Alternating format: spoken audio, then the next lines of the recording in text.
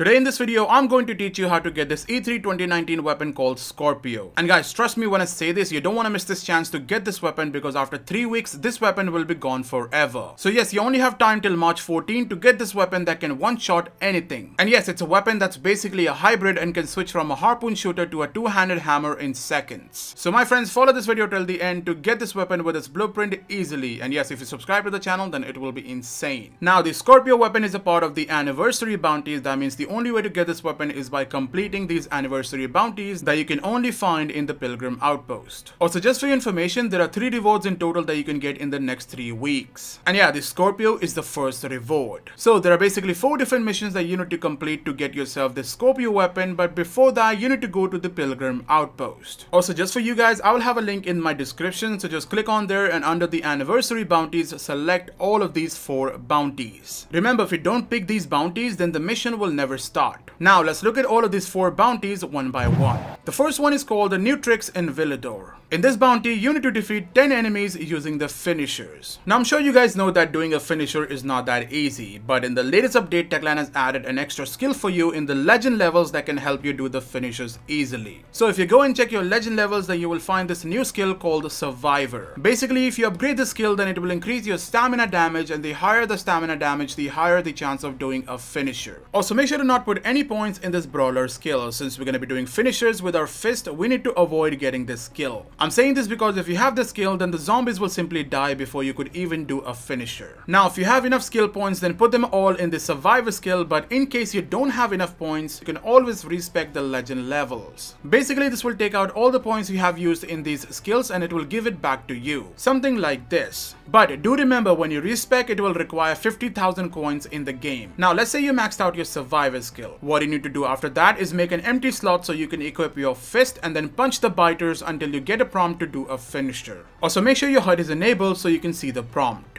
Now just do the finishers and keep doing it until you have done it at least 10 times. Also let's say for some reason you can't do these finishers as your enemy keeps dying instantly. Well in that case you need to switch to a lower level save and that will surely help you. Now the next bounty is called the one step ahead of death. And this my friends is one of the easiest one here. All you need to do is go out during the night time and start a chase. After that just hit a volatile and the chase will begin. Now you just need to keep running for at least one minute without dying. And yes if you stayed alive for one minute then this mission will be over Next, we have another easy bounty called Chop Chop. In this, you basically need to cut 50 limbs of an infected. So get your best weapon out and slice the hands or legs of a zombie. Personally, I was using the Ishmael weapon and you can basically use any weapon you want but a polearm would be really great for slicing them. Also, if you don't have a polearm, then you can watch this video to get yourself one with a blueprint found around the world. You'll find the link in the description for that video. But like I said, this bounty is the easiest one so cutting 50 limbs should not be an issue. Now go finish them and now we'll look at the final and probably the most difficult bounty in this list. This bounty is called the Bounty Boy. In this bounty, you need to play the Run Boy Run map and finish it under 6 minutes 40 seconds. Also, I'm not gonna lie, you need to be at least decent in parkour to beat this in time. But don't worry because I have few tips for you that can surely help you beat this in time. Also, if you're someone who's facing an issue downloading the map and is getting this internal error issue, well you can find a video in my description box that will teach you how to fix this error and download the map easily. Now before you start playing the custom maps, you need to learn two moves. First one being the slide jump. It's very easy, all you need to do is slide and then jump. This move will surely give you a huge advantage and you can keep spamming this to cover a huge distance in less time. The second move is called double jump that can come in handy if you practice enough. Basically, you need to jump once and as soon as you're about to land on the ground, press the jump button twice along with the crouch button.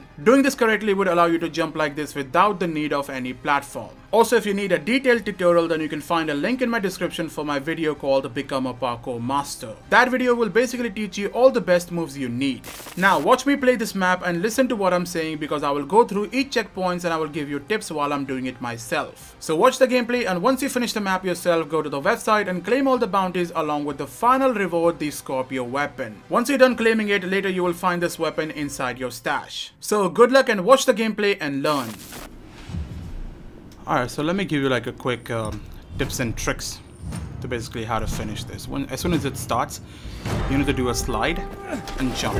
This is like the first thing you will do, slide and jump. Try avoiding the water because if you jump on the water, it's gonna slow you down.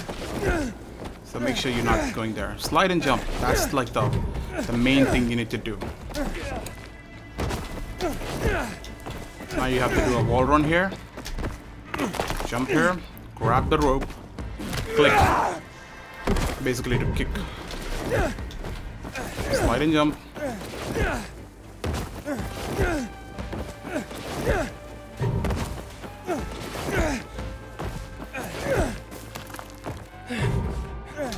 Don't worry, the stamina regenerates quite quicker in this map, so you're not gonna have any issue with the stamina much. But yeah, slide jump is what's gonna help you. But yeah, here what you're gonna do is you're gonna grab this and you can go around if you have issues going through that thing. You can always go from the other way around. But for this one, you will have to at least jump, so don't think much about it and keep jumping. The more you think, the more you're gonna fail. So jump, jump, and when you come here, again, on the left side, avoid the water. If you're fast enough, you can do it right there. You don't have to come around and do all that stuff. But yeah, slide jump, slide jump. Hey, inside, try avoiding jumping because I have done that. Like, it will literally get you stuck sometimes. So just avoid that and keep running straight.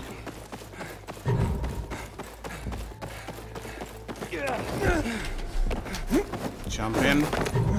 Try to use like far jump and all that stuff as well combined. That would really help you. When you here, jump, land here, move towards this place. There's a rope down there.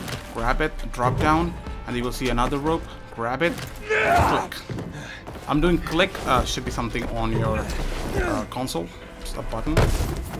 Make sure to do a far jump here because when you do one, you will gain um, a lot of distance. So that's good. Slide and jump, like I said, always gonna help you. Slide, under, go. Now, if you watch my video, you can always uh, do one trick. I'll just slow down for a second. I'll show you. Like, uh, there's a trick that will literally allow you to like jump above this. But I mean, don't have to do it if you haven't practiced it. But I was showing you. It shouldn't, nothing should slow you down. If it's slowing you down, then you have uh, issues.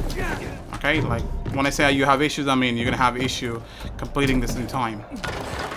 Hold space or the jump button, basically, to like go quicker. But you can always do uh, the slide jump here as well to like skip through this faster. Come to the corner, jump above, slide, jump, slide, jump, slide, jump.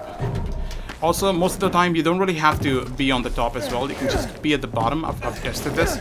You can also be at the bottom and still be able to like check the do the checkpoint. Slide jump.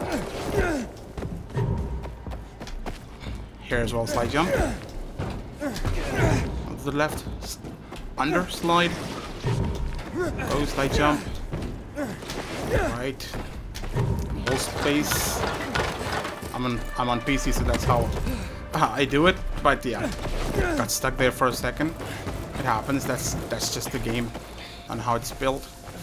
Space. Far jump. Far jump. Uh, doesn't matter. It's just jump directly. Drop down. Don't get stuck. Fucking stupid game. slide. Sneak into the slide jump inside this as well. Listen, you don't have to complete this in under 6 minutes. You have like enough time. You can do the jump trick. If you can't, like, yeah, like that one. Like you're here, you can just do... You can see I'm like taking time, so... If I'm taking time, you can take your time as well. Don't have to like... Do it. You don't have to be perfect when you're doing this.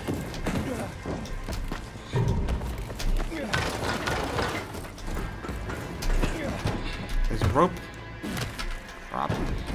Drop. Select it. I don't know why it didn't select. Alright, so you can see I have few... Uh, I need to get 10 check marks done. I should be able to do it. Not a problem. I have like 2 minutes. To be, to be exact, yeah, 2 minutes. Slide jump. There's nothing that crazy about this thing. You can see that my stamina regeneration is quite faster. That's the, uh, the map. When you get a chance, do a far jump. Otherwise, just avoid it totally. Slide, jump, don't do a roll. It's fine, you can do this, because sometimes when you do the roll, you just fall down. I will, I will really avoid that. If you don't know how to do a proper roll, like without, without falling down, I would avoid it completely. Jump, don't fall this time, because this could be a little bit uh, deceiving. I've seen people falling down. See? This is done. Go there. Slide. By the way, it's like uh, in the morning, uh, and I'm just doing a recording at the moment, so might not sound perfect, but um, it's still fine. So yeah, I'm doing it under 60 minutes. I think I beat my own record by even doing a lot of mistakes. That's crazy. That's how you do it.